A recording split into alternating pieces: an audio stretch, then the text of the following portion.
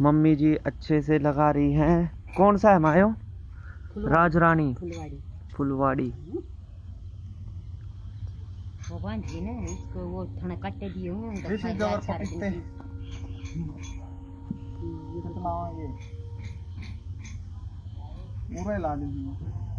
बीच में मत लगा।